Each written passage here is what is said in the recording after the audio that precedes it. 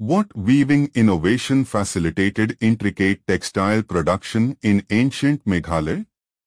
Vertical looms spinning wheels cotton gin foot treadle looms. Foot treadle looms.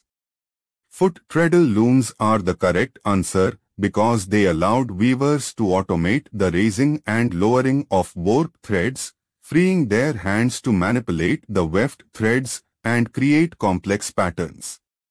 This innovation significantly enhanced weaving efficiency and complexity. Vertical looms are less suitable because they are a basic loom type and don't offer the same level of control and efficiency for intricate designs as treadle looms. Spinning wheels, while crucial for yarn production, are not directly involved in the weaving process and don't enable intricate pattern creation.